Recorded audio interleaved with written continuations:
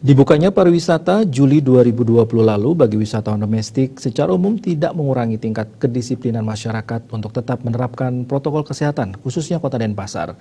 Dalam beraktivitas, warga Kota Denpasar khususnya sudah terbiasa untuk menerapkan prokes, seperti memakai masker saat keluar rumah.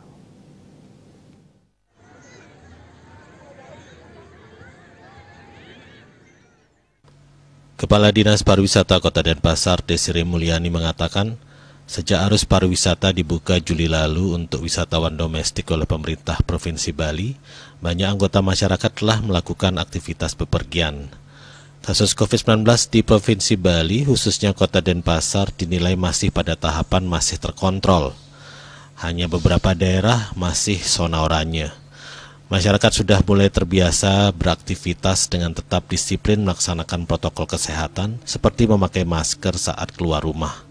Hal ini juga tidak luput dari peran desa atau kelurahan, anggota Satgas COVID-19 di masing-masing kelurahan, Satpol PP, Dinas Perhubungan Kota Denpasar, dan instansi terkait yang ikut memantau dan mengawal penerapan prokes secara ketat.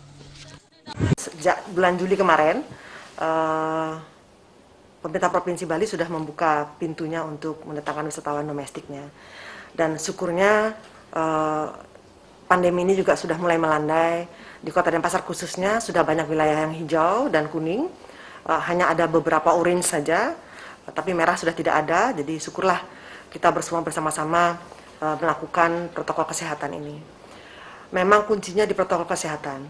Jadi dengan adanya protokol kesehatan yang ketat dan di uh, kemudian di, terus dipantau dan dikawal oleh teman-teman di desa kelurahan uh, oleh satgas-satgas COVID-nya di masing-masing desa kelurahan beserta juga teman-teman Satpol PP, kemudian Dinas Perhubungan dan instansi terkait lainnya. Uh, syukurnya uh, masyarakat dan pasar mulai semakin lama mulai tertib untuk melaksanakan protokol. Penerapan prokes dengan 3M yakni wajib memakai masker, wajib menjaga jarak dan wajib menjauhi kerumunan dan wajib mencuci tangan dengan sabun di air yang mengalir diharapkan bisa terus dilaksanakan masyarakat dengan disiplin demi mewujudkan Bali bangkit dan bebas COVID-19 menuju Indonesia sehat. Julia